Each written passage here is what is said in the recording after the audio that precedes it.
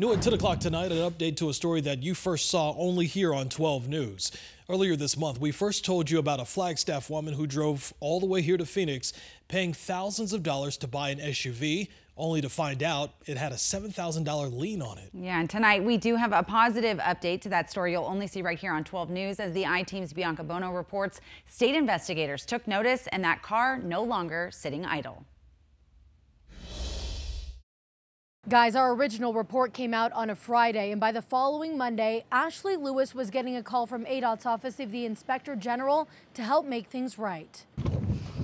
Ashley Lewis getting behind the wheel of her new Suburban a car she bought over a year ago, but hasn't been able to legally drive it until now. It's been a mess. In March of last year, Lewis bought the car for $8,000 cash from Coyote Auto Credit near 27th Avenue in Osborn, only to later learn it had a $7,000 lien on it. She was told it would be illegal to drive, so it sat in her front yard for months as they pleaded with the owner of the dealership to pay off the lien or give them their money back. The owner denied responsibility responsibility, saying the man who sold them the car at his dealership did not work for him. We thought, should we sell it for parts? We all sat here scratching our heads like, what are we going to do with this? After filing a police report and notifying the Attorney General's office, not knowing what else to do, they reached out to 12 News. And after the report aired earlier this month, their phone rang. We received a call right away, first thing from the Inspector General's office saying,